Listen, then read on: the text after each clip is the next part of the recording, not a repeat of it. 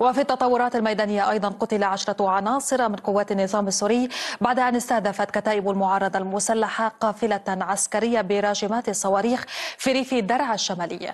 وأسفر الهجوم عن أعطاب عربتين عسكريتين بالإضافة إلى خسائر بشرية بحسب تقارير لمصادر ميدانية.